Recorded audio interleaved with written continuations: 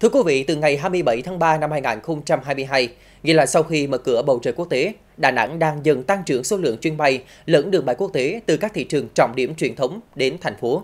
Đây là tín hiệu tốt trong việc khôi phục các đường bay quốc tế đến Đà Nẵng sau khoảng thời gian dài chịu ảnh hưởng của dịch bệnh. Qua đó nhằm khôi phục ngành du lịch, góp phần phát triển kinh tế xã hội thành phố.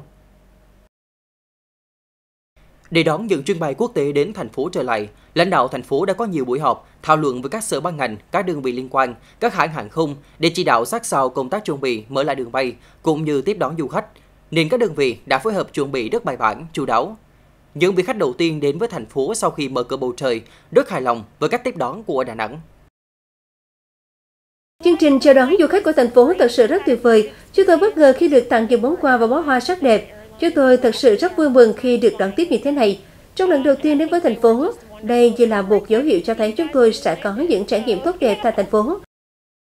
Bên cạnh đó, yếu tố then chốt để thu hút du khách chính là tạo điều kiện thuận lợi để du khách tiếp cận điểm đến dễ dàng nhất. Và với việc đăng cai thành công sự kiện Diễn đàn Phát triển đường bay châu Á, Đà Nẵng đã trở thành tâm điểm của thế giới với sự tham dự của hơn 500 đại biểu là đại diện của tổ chức hãng hàng không, sân bay, điểm đến và đơn vị cung ứng dịch vụ với hàng loạt các buổi hội nghị, hội thảo thương mại, các cuộc gặp gỡ trực tiếp và trực tuyến đã đem đến những hiệu quả tích cực cho hàng không và du lịch thành phố Đà Nẵng. Ngành du lịch của thành phố Đà Nẵng cũng đã làm việc với nhiều hãng hàng không, đặc biệt là các cái hãng hàng không đã mở các cái đường bay tới với thành phố của chúng ta trước năm 2019 và xúc tiến à, mở thêm một số những đường bay mới à, từ các cái thị trường tiềm năng à, như Ấn Độ, Úc, Philippines, Indonesia tới với thành phố chúng ta trong cái thời gian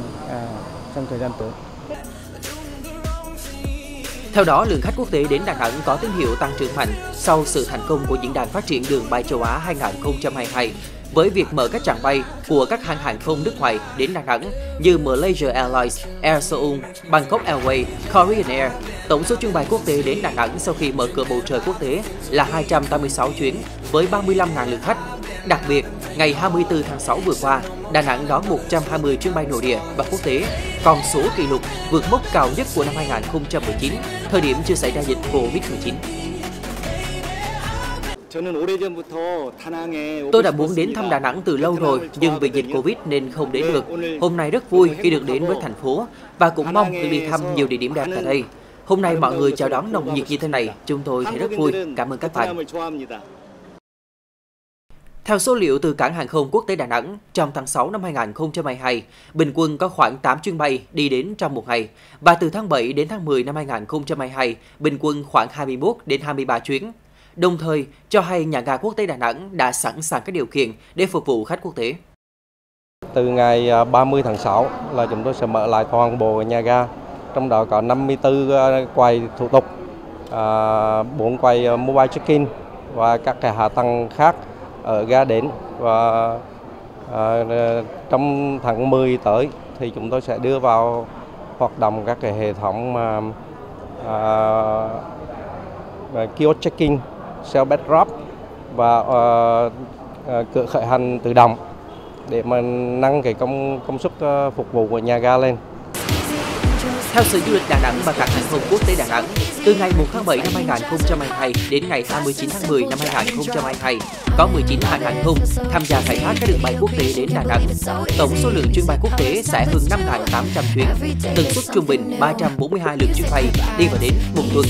48 lượt chuyến bay đi và đến một ngày.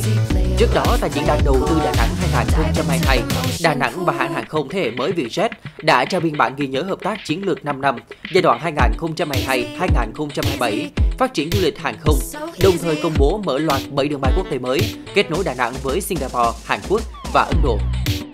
Với sự nỗ lực không ngừng nghỉ của thành phố Đà Nẵng, cùng với sự đồng hành của các đơn vị doanh nghiệp du lịch trên địa bàn, Đà Nẵng sẽ rút ngắn thời gian thực hiện mục tiêu khôi phục đường bay đã có trong năm 2019 với 31 đường bay quốc tế và hơn 500 chuyến bay mỗi tuần.